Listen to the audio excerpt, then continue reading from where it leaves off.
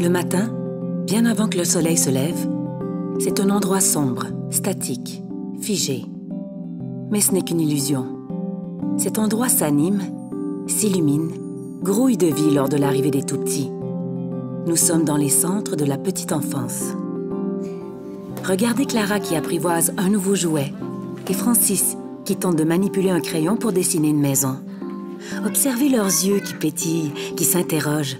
Remarquez leurs gestes qui posent des questions. Dès leur plus jeune âge, les enfants apprennent à entrer en relation avec le monde qui les entoure pour exprimer leur goût, confier leurs inquiétudes, explorer un nouveau jeu, se faire des amis et communiquer leurs besoins. À nous de décoder leurs messages pour les aider à grandir et s'accomplir.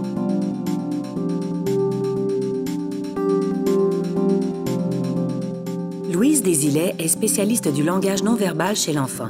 Elle s'intéresse particulièrement à la communication avec les tout-petits et surtout aux différentes clés qui nous permettent de la décoder.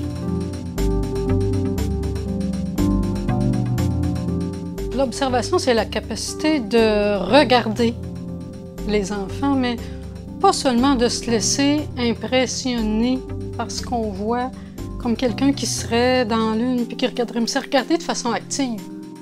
C'est se poser des questions, c'est qu'est-ce qui arrive, qu'est-ce qui se passe, qu'est-ce qui est en train d'arriver. Ah, c'est vraiment ça, observer, c'est être actif, c'est regarder activement.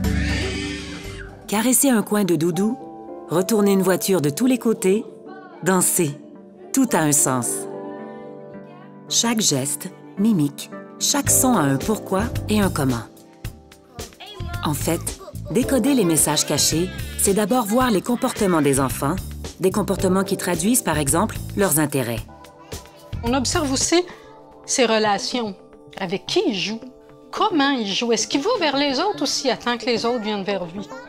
Est-ce qu'il joue autant avec les garçons, avec les filles? Avec les plus grands, avec les plus petits?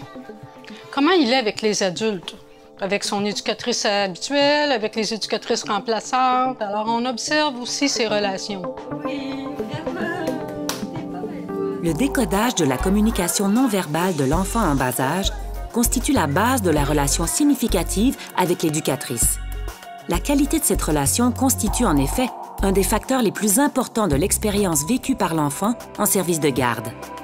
Plus le décodage est rigoureux, meilleure est la relation entre l'éducatrice et l'enfant, et par ricochet, meilleure est l'expérience en service de garde vécue par l'enfant.